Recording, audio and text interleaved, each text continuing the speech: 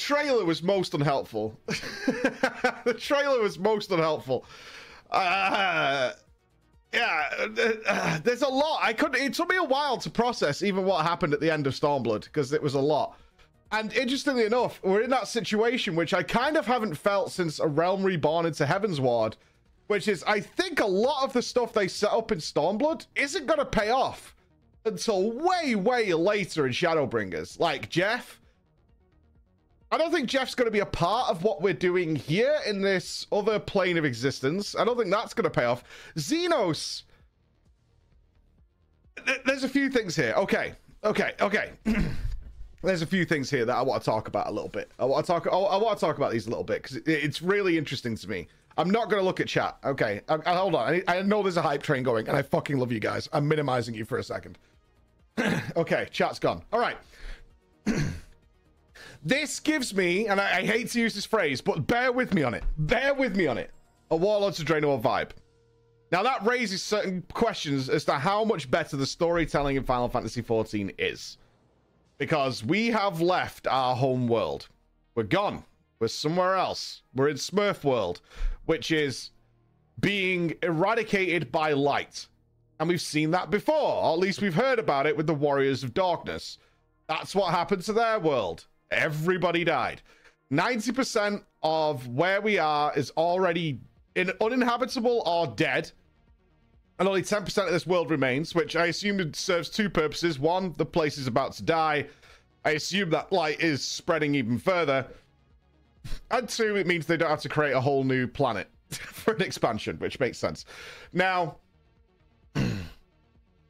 what I remember, and I, am iffy on this part, but I've got the general gist, is that Hydaelyn created, I think it's 12 or 13 stars, different worlds and we're on the first one.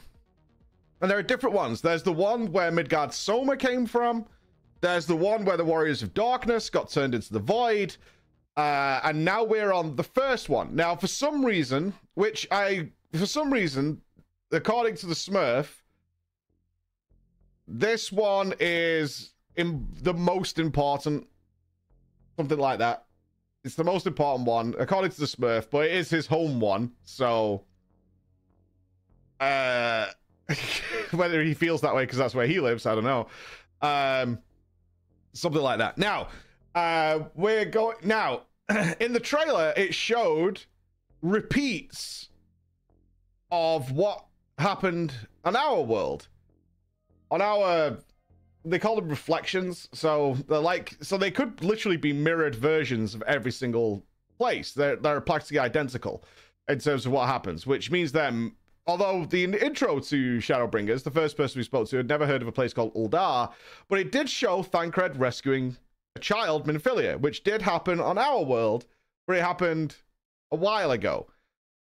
Which makes me think that there's also some sort of time travel involved in what's happening here because that's what happened on our world. It happens during Shadowbringers at some point because it's in the trailer, which makes me think that some kind of time travel has occurred as well, or we're going to have to travel back in time in an almost Avengers Endgame style to correct whatever has caused the light to start engulfing this world. So I think something like that is kind of happening in some way, shape, or form. Uh, but one thing I'm really interested in, getting back to it, whatever the actual main story of Shadowbringers, I'm no doubt I'm miles out because I haven't got any information really of what's going on. But what I want to know is, and what I'm really, really interested in is, while we're dealing with whatever this is, whatever this shit is, what's happening on our homeworld? Because what I don't want to have happen, and I would be a little disappointed, not ultra disappointed, but a little disappointed, is if everything on our home world has come to a stop while we're not there. All the scions are gone. We're gone. Zenos at the end of Stormblood has reactivated the Black Rose factory. What's happening on our home world? Because I would, as as gross and as genocidal as this sounds, I would prefer that when we get back to our world, we're fucked. we're absolutely fucked. While we were fanning about over in Smurfland, they just fucked Eorzea like so hardcore. But I, mean, I assume because we can move back and forward, because they're going to obviously allow us to go back to our world. Um, then you know we might see the fruits of that. And I kind of wonder where they're to do, which happened in Heaven's Heavensward a lot, is where they staggered the MSQ. So you did a bit over here, and then they were like, "Yeah, this is important with the Dragon Song War, but we kind of need to deal with what's going on over here." because it's not like things have stopped over there. So we need to keep going backwards and forwards and doing those kinds of things and trying to manage both of these things. Um, that's something I'm really keeping my eye on is whether or not they'll just forestall what's happening at our world while we deal whatever's happening over here. Uh, and I want to see how that plays out because as we know in other MMOs that are go unnamed, is generally speaking, they pretend like the rest of the world doesn't exist while you're dealing with current problem. They just go like, ah, it can't poss.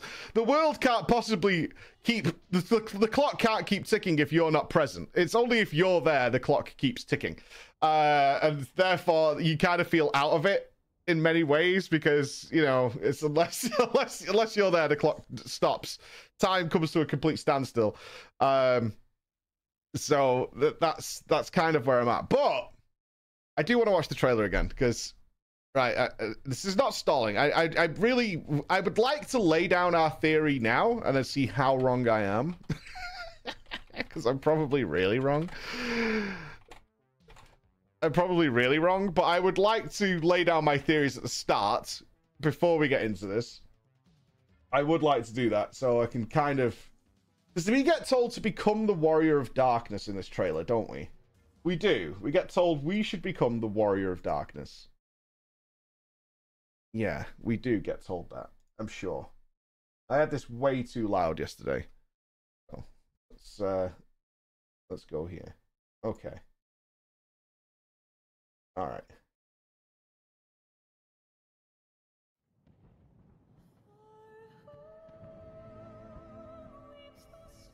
Okay, the end of Stormblood. Yes. All right.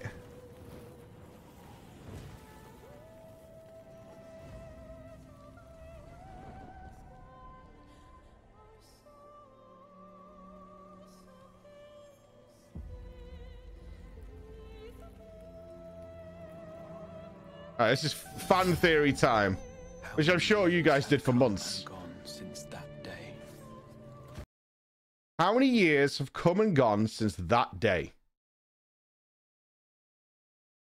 That's an interesting line.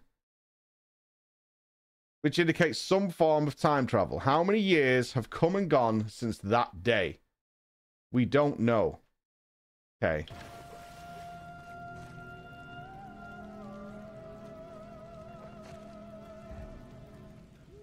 How many years have I waited for this moment? is he talking about his fight with Zenos or where we are in Shadowbringers? Hard to tell. Stood alone against the storm. Wait, who's talking? How many years have come and gone since that day, since the one who stood against the storm of blood? Is it the Smurf guy? I can't remember his voice offhand.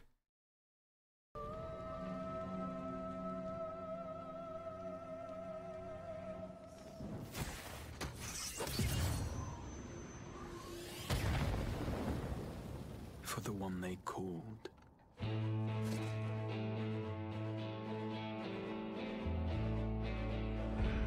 The Warrior of Light. That has to be Smurf Boy. Alright, that has to be Smurf Boy. So years have passed? Potentially? Have we Gordon Freeman in some way? Have we been frozen? Or did it take us a while to get to where we are? Or could it mean in reverse? Hmm.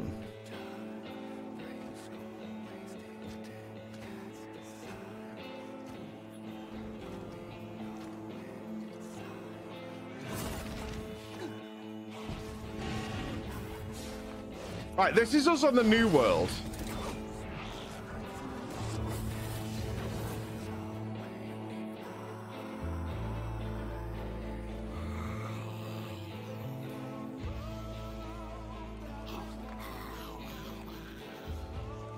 Fight left to fight. No fight left to fight. No life left to live.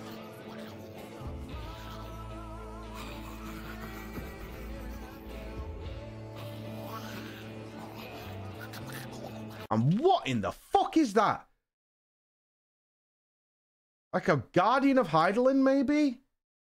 Or is this... Are they going for a twist on the angel idea that the angelic symbol is actually a specter of death? Because it comes with the light, which we know is bad.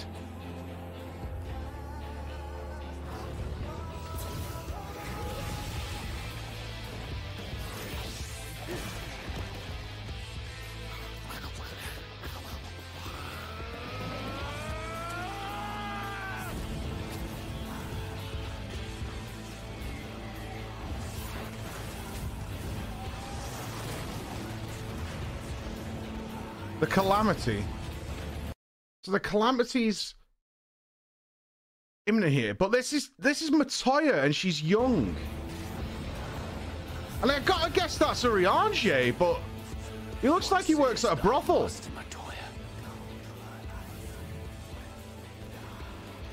Is that Urianger? It has to be, right? But why is he like a Gwent player? Is he a gimp in the past? Why is he wearing that dog collar? We may accept this fate or defy it, but we cannot deny it. Deny? I am not wont to run from Man, I'm so sexually conflicted now, Matoya, because she's going to be hot as fuck in this expansion. Yeah, we know. We know. my troubles. We know.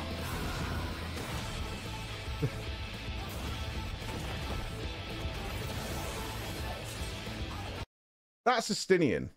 Well, this is gonna. Or is it not Estinian? Is it the first Azure Dragoon?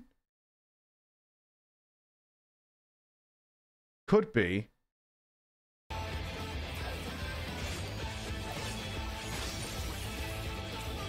Or is that just me as a different job? Oh, it's me. Never mind. That's me.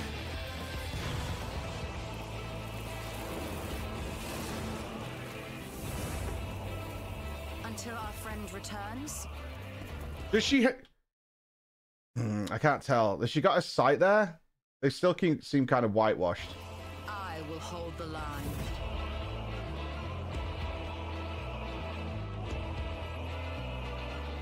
I do like the idea of actual fat cats. Like, it's a little on the nose, but I do like it. Fucking chubby lovers.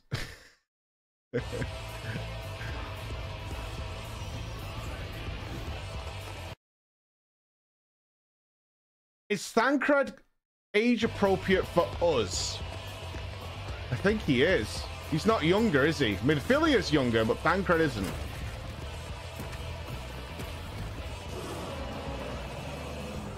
This town certainly Oh, he does look young. Oh, in fact, he actually's got both his eyes. That's not our Thancred.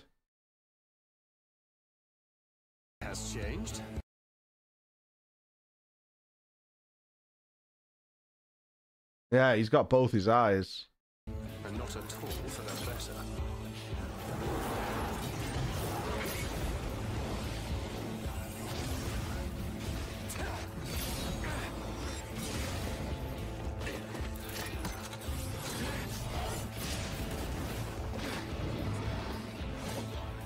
I'm not going anywhere. I promise you, Minfilia.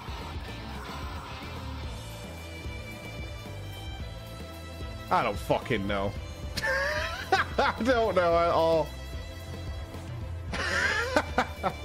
There's no way you can figure this out.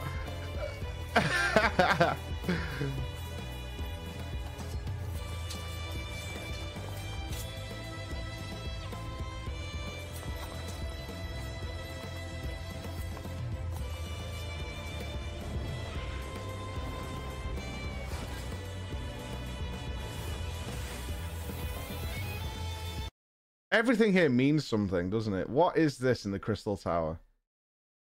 I feel like we're in the Matrix. What is this? Those are all the reflections, I think. Is that Matoya? Is this is the Crystal Tower a viewer of all the reflections? Now I'm starting to think of Lost. And they had the lighthouse that could see where the island was moving. This tragedy, Oh, that's Smurfy.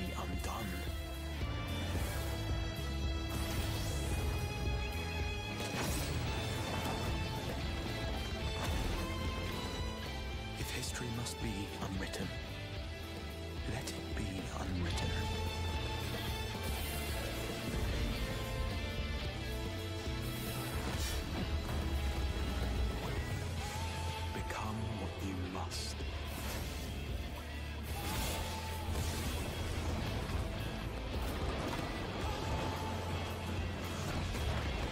Become the warrior of darkness.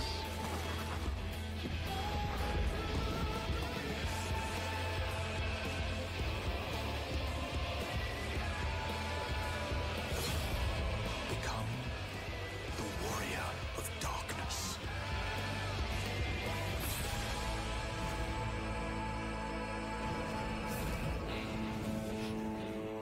I don't fucking know, man. I don't know. what the fuck? There's some time travel somewhere.